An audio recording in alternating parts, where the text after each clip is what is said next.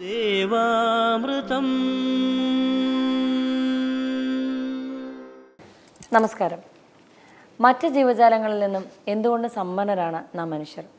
കാരണം എല്ലാത്തിനെയും വശത്താക്കി അവന്റെ സുഖാനുഭവങ്ങൾക്കായി മാറ്റിയെടുക്കാനുള്ള കഴിവ് മനുഷ്യർക്ക് ദൈവം തന്നിരിക്കുന്നു. എന്നാൽ മറ്റ് ജീവജാലങ്ങളിൽ നിന്നും വ്യത്യസ്തമായി നാം സുഖത്തോടൊപ്പം നേരിടുന്ന ഒന്നാണ് ദുഃഖം.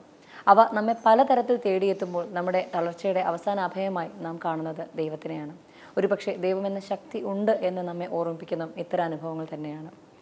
അവന്റെ ശക്തിയുടെ പദങ്ങൾ നമ്മിലേക്ക് നീളുമ്പോൾ നമുക്ക് അവനിലേക്ക് കൂടുതലായി എടുക്കാം. ഈശ്വരനിലേക്ക് ഏറെ അടുക്കാൻ ശ്രമിക്കുന്ന ദൈവാമൃതത്തിന്റെ മറ്റൊരു അധ്യായത്തിലേക്ക് ഏവർക്കും സ്വാഗതം. ആദ്യം നമുക്ക് ശ്രവിക്കാം ഗുരുസാഗരം ശ്രീ സജീവ് കൃഷ്ണന്റെ വാക്കുകളിലൂടെ. സാഗരം അറിവിന്റെ സാഗരം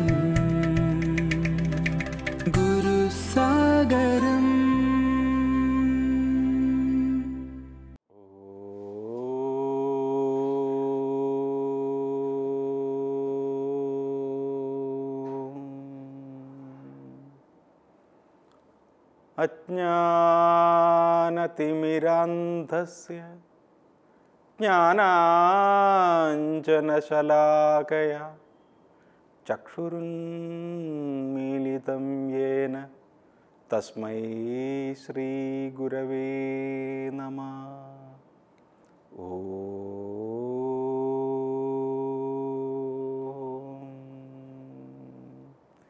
സർവലോകർക്കും നാഥനായ ശ്രീനാരായണ ഗുരുവിന്റെ ദിവ്യ സാന്നിധ്യം കൊണ്ട് പവിത്രമായ ഗുരുസാഗരത്തിലേക്ക് ഏവർക്കും സ്വാഗതം. ഭഗവാൻ ശ്രീനാരായണന്റെ ദിവ്യമായ ജനനി നവരത്ന മഞ്ജരിയിലൂടെയാണ് നാം കടന്നുപോയിക്കൊണ്ടിരിക്കുന്നത്.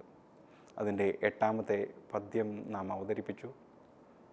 അതിൽ സത്ത് ചിത്ത് ആനന്ദം എന്ന് പറയുന്ന ഘടകത്തെ ഭഗവാൻ നിറച്ചു വച്ചിരിക്കുന്നു അതേക്കുറിച്ചാണ് നാം സംസാരിച്ചു കൊണ്ടിരിക്കുന്നത്. സത്തായി നിന്നുപരി ചിത്തായി രണ്ടുമൊരു മുത്തായി മൂന്നും അറിയും. അപ്പോൾ സത്തായിട്ട് പുറമേ കാണുന്ന ഈ ലോകം. അതിന്റെ ഉള്ളിൽ ചിത്തായിട്ട് നമ്മൾക്ക് ലഭിക്കുന്ന രണ്ടാമത്തെ അറിവ്. അപ്പോൾ ആദ്യത്തെ അറിവ് എന്താണ്? ദാ ഈ ലോകം ഇവിടെയുണ്ട് ഇനി ഇന്ന വസ്തുക്കൾ ഇതിനകത്തുണ്ട്. ഇനി അതിന്റെ ഉള്ളിൽ അതിന് ചിത്തായിരിക്കുന്നതിനെ അറിയുമ്പോഴത്തേക്ക് നമ്മളെന്തായി? അറിവിന്റെ രണ്ടാം ഘട്ടത്തിലേക്ക് കടക്കും. ഇനി ഈ അറിവിനൊരു മൂന്നാം ഘട്ടമുണ്ട്. അതെന്താണ്? ഈ സത്തും ചിത്തും കടന്ന് അതിന്റെ സ്വരൂപത്തെ അറിയുമ്പോൾ നമുക്ക് ലഭിക്കുന്ന ആനന്ദം. അപ്പോൾ സി ആ ആനന്ദത്തെ ശ്രീനാരായണ ഗുരുദേവൻ ഇവിടെ പറഞ്ഞിരിക്കുന്നത് മുത്ത് എന്നാണ്. അപ്പോൾ എന്താണ്? മുത്ത് എന്ന് പറയുന്നത് എന്താണ്? ചിപ്പിക്ക് ഉള്ളിലിരിക്കുന്നതാണ് മുത്ത്. ചിപ്പിയെ നമ്മൾ പുറമേ കാണുന്നു. പുറമേ കാണുന്ന ചിപ്പിക്ക് ഉള്ളിലേക്ക് നാം കടക്കുന്നു. അതിന്റെ ചിത്തിനെ അറിയാൻ കടക്കുന്നു. ചിത്തിനെ അറിയാൻ കടക്കുമ്പോൾ ആ ചിത്തായിരിക്കുന്നത് ഒരു മുത്താണ്. ആ മുത്ത് നമുക്ക് കിട്ടുമ്പോൾ എന്ത് ചെയ്യുന്നു? നമുക്ക് ആനന്ദം ഉണ്ടാകുന്നു സന്തോഷം ഉണ്ടാവും കാരണം നല്ല രസമുള്ള ഭംഗിയുള്ള മുത്ത് അതിനകത്തിരുന്ന് തിളങ്ങുന്നത് കാണുമ്പോൾ നമുക്കുണ്ടാകുന്ന ആ അനുഭൂതി ആനന്ദം. അപ്പം അത് ആനന്ദം എന്ന് പറയുന്ന ഒരു വസ്തുവല്ല. അത് അനുഭവമാണ് അനുഭൂതിയാണ്. അപ്പോൾ യഥാർത്ഥത്തിൽ നമുക്ക് കാണാൻ സാധിക്കുന്ന രണ്ടെണ്ണേ ഉള്ളൂ. അത് സത്തും ചിത്തുമാണ്.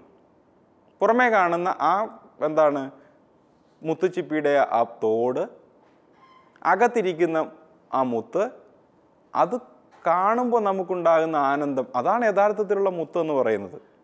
അപ്പോൾ ആനന്ദമാണ് ശരിയായ മുത്ത്. അല്ലാണ്ട് ആ മുത്തിന്റെ രൂപത്തിലിരിക്കുന്ന തിളങ്ങുന്ന വസ്തുവല്ല ശരിയായ മുത്ത്. അത് നമ്മിലുണ്ടാക്കിയ ആനന്ദമാണ് നമ്മെ സംബന്ധിച്ചിടത്തോളം മുത്തെന്ന് പറയുന്നത്.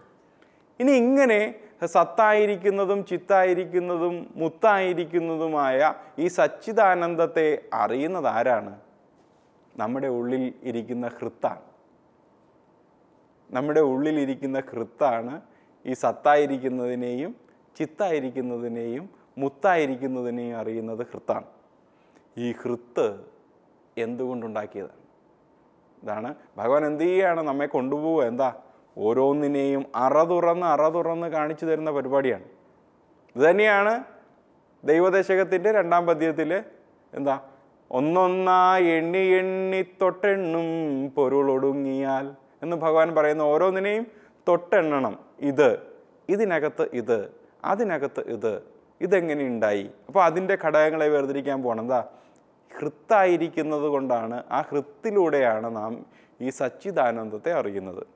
അപ്പോൾ ഹൃത്തായിരിക്കുന്നവൻ എന്തുകൊണ്ടുണ്ടാക്കിയിരിക്കുന്നു അവൻ പഞ്ചഭൂതങ്ങൾ കൊണ്ട് ഉണ്ടാക്കിയിരിക്കുന്നു. പഞ്ചഭൂതങ്ങളും പഞ്ചേന്ദ്രിയങ്ങളും അടങ്ങിയിരിക്കുന്നതാണ് നമ്മുടെ എന്താണ്? ഈ ശരീരം ആയിരിക്കുന്ന ഈ സ്വരൂപം. അപ്പോൾ ഇതിന് അടിസ്ഥാന ഘടകമായിരിക്കുന്നത് പഞ്ചേന്ദ്രിയങ്ങളും പഞ്ചഭൂതങ്ങളുമാണ്. ആ അറിവിലേക്കാണ് നമ്മൾ എന്ത് ചെയ്യുന്നത്? ഈ പടിപടിയായിട്ട് കടന്നു ചെല്ലുമ്പോൾ നാം എത്തുന്നത്. ഇങ്ങനെ പടിപടിയായിട്ട് നമുക്ക് ഉള്ളിലേക്ക് കടന്നു ചെല്ലണമെന്നുണ്ടെങ്കിൽ അമ്മയുടെ പ്രസാദം വേണം. അമ്മ നമ്മിൽ പ്രസാദിക്കണം. അമ്മയെ നമ്മൾ പ്രീതിപ്പെടുത്തണം. എല്ലാം അമ്മയാണ് എന്ന് നമ്മൾ അറിയണം. എന്നിട്ട് അംഗീകരിക്കാനായിട്ട് തയ്യാറാവണം. അപ്പോൾ നമ്മുടെ മനുഷ്യ ജീവിതത്തിൽ ഉള്ള മാതൃസ്ഥാനത്തായാൽ പോലും അമ്മയാണ് ഇതിനെല്ലാത്തിനും ആധാരമായിരിക്കുന്നത് അമ്മ തന്നെയാണ് എന്റെ ശരീരവും എന്റെ ജീവിതവും എന്ന് നമ്മൾ അറിയുകയും അത് അമ്മയോട് തിരികെ പറയാനായിട്ടുള്ള ഒരു എന്താണ് മന വൈഭവം അല്ലെങ്കിൽ ഒരു മാനസിക ജ്ഞാനം തലം ഇത് നമുക്ക് ഉണ്ടായിരിക്കുമ്പോഴത്തേക്ക് അമ്മയിൽ നിന്ന് ലഭിക്കുന്ന പ്രസാദം അമ്മയിൽ നിന്ന് ലഭിക്കുന്ന സ്നേഹത്തിന് മറ്റൊരു തലമുണ്ടാവും. അത് സ്വാഭാവികമായി ഇങ്ങോട്ട് തന്നുകൊണ്ടിരിക്കുന്ന ആ തലമല്ല. അതിനേക്കാൾ നിറവോടുകൂടി നമുക്ക് ജീവിതത്തിന്റെ വഴി തുറന്നു തരുന്ന ഒരു അനുഗ്രഹമായിട്ട് മാറും.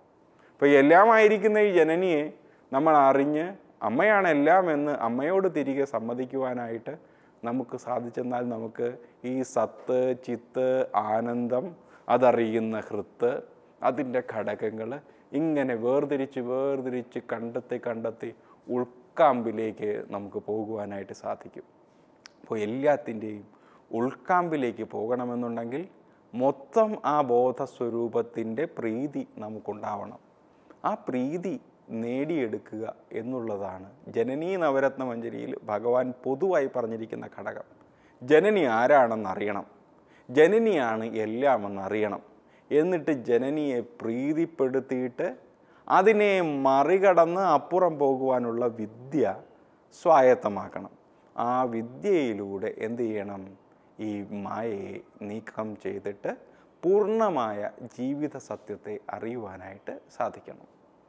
ഇതേക്കുറിച്ച് കൂടുതൽ വിശദമായിട്ട് സംസാരിക്കാം. ഇന്നേക്ക് എല്ലാവർക്കും നമസ്തേ.